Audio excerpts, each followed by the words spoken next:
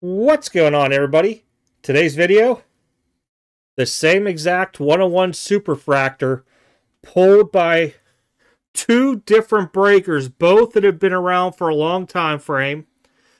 I can tell you, I've never heard anything bad talked about either of them, especially Real Breaks. Real Breaks was started off as a Facebook group for a long time. I think they're still breaking on Facebook, but they use other platforms, maybe their own website now. They were one of the few for years before COVID that would drop case after case after case, snap fill, snap fill, snap fill. You never see anything like it. There was no fillers, no nothing ever ran. The other breaker, Filth Bomb Breaks, been around for a while. Has t- uh, been around for a while as well. Wow, stuttering there. Um, both pulled the same exact superfractor. You know, there's been a lot of blunders that have come out over the past year with Fanatics Topps. Wrong stickers, um, some didn't look like the person's autograph, all kind of stuff we could sit there and name out. A lot of promises been made by that company.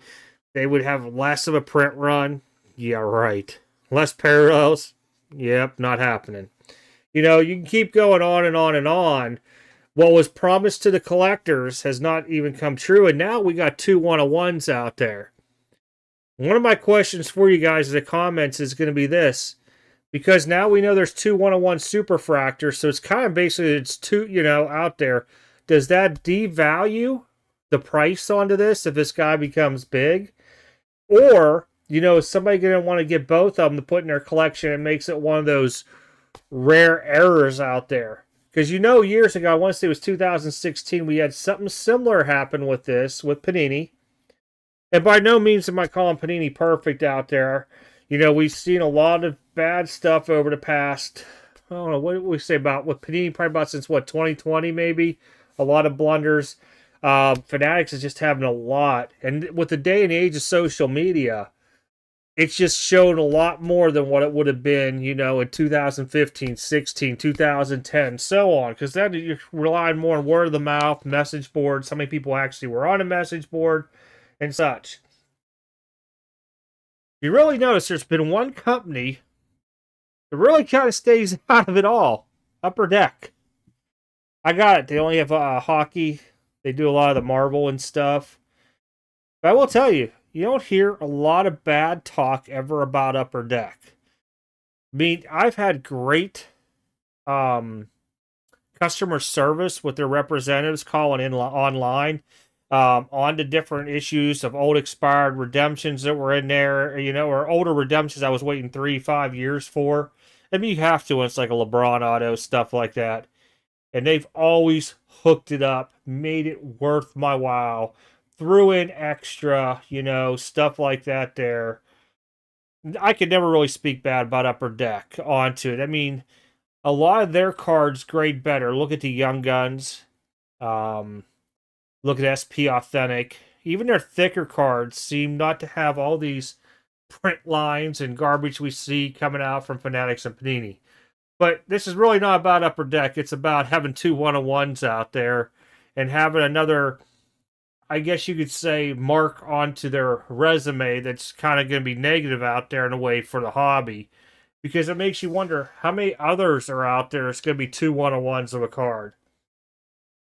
Are we going to start seeing multiple two out of fives, two out of tens, you know, stuff like that there? Not unheard of. It's definitely happened in the past. But I thought this was kind of interesting. It was sent to me earlier, like I was uh, talking earlier you know, it, it brings up a lot of different questions onto it. And a lot of people ask, have you bought anything from Fanatics since they switched over? No, I haven't bought any product. You know, would I buy an auto that I like of Nolan Ryan out of a newer product? Yeah. Wouldn't buy, you know, their boxes or nothing. I, I just see too much going wrong for the value, the overpriced for the higher produced cards out there. And even looking at uh, stuff like Dynasty, you know, I think with certain products, i.e., Dynasty, you should be rotating who your players are. I got all your active, you know, players that are still in league sign every year, but your Hall of Famers and your veterans, I would rotate who's in each year just to drive it like, oh man, we haven't seen, you know, Nolan Ryan signs everything, but I'm going to use like Rickey Henderson. Um, trying to think of some of the other ones, Jeet or Ichiro, rotating them around so that you know, okay, well, this year maybe in Dynasty they're not going to have Ichiro autos, but you know, in Diamond Icons they do. It's just some of my thought process. Make it a little more rare trying to do the chase. I got it. it brings product value down and stuff like that there, but it also makes it somewhat more reasonable. I don't know. Just thoughts I was always having in my head that you always rotate stuff around instead of seeing like every single product in football having a John Elway auto in it, you know? Or really, really limit it like how they did Tom Brady. To me, just different things like that makes and drives the product more. But let me know what you guys think about this here. Two one ones, two oh, respectable breakers. I can speak really highly of real breaks. I've dealt with Filth Bomb before, never had any issues with them. I've never heard anything bad about either of them off of anybody talking. Um, let me know what you guys think. And then also, now having two one on ones, does it make it less value? Or is it going to be something like, ooh, it's a big blunder. I got to get them both and it drives both prices up. All right, guys, that's it. Talk to you next time. Stay safe.